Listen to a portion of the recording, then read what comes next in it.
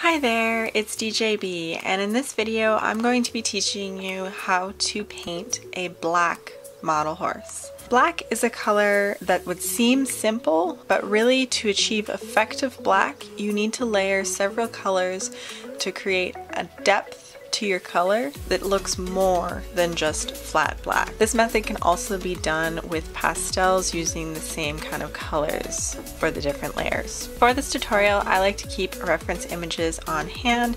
As you can see with the image I have, the horse is not completely black. You want to have the model that you're planning on painting primed and ready. So then I'm going to be using four different colors for this. We're going to be using Golden High Flow Acrylic, which can be put right into the airbrush. I'm going to be using using the colors Raw Sienna, Burnt Sienna, Sepia, and Carbon Black. The airbrush I am using is an Iwata Eclipse HP CS. I'm going to start with that Raw Sienna color and this will be mostly for the base coat. So I'm going to want this horse to look almost completely yellow without leaving any of the white from the primer. I like to keep certain areas darker such as the flanks and the elbows as well as some places in the face so that this is the prominent color that will be showing through on the finished model.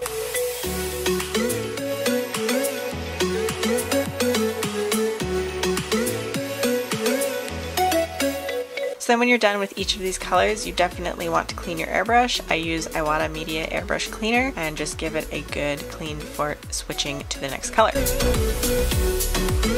The next color we're going to use is the Burnt Sienna. This is kind of a reddy color and we're going to achieve the major darker points of this model, leaving some of that yellow sheen to show through, but mostly this is a full body coverage as well. Paying attention to the shading darker along the back, on the belly, at the top of the neck, and leaving some of that yellow color to peek through.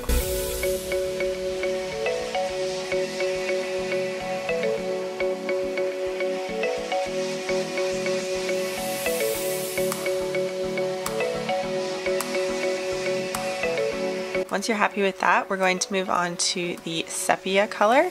And this is just kind of a brown color that's a little bit darker. You're gonna wanna utilize this and really darken up the model, leaving those flank and elbow areas exposed as well as areas around the muzzle, but you can really darken up the legs, the top line, the top of the neck, down into the shoulder. And I also recommend going over those flank areas with a little bit of this brown, but not entirely, just light shades. So you keep the airbrush light and work to dark. You can't undo dark paint that you've applied, but you can darken up light areas of paint that feel too faint. So once you're happy with that, we actually are going to add black on top and this is just the carbon black. Make sure to do this layer with caution. So you want the model to darken up really nice, but you want to use thin layers so that some of those dark brown tones peek through. Really emphasize that shading that you've put in there. So in natural light, this model might look completely black, but if you bring him into really bright sunlight or underneath an LED light, he's really going to have some of those dark auburn hues underneath his coat color. You can experiment with different pastels, different color combinations as well.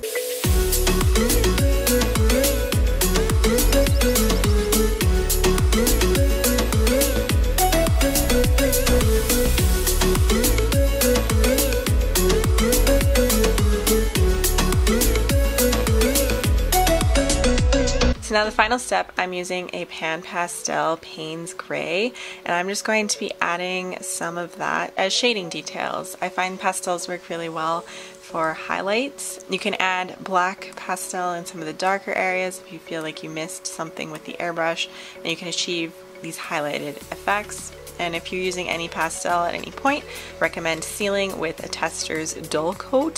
So then you can leave this model straight black or you can paint on your white markings at this point, but you can see the sheen that's peeking through and he looks very striking as a black horse.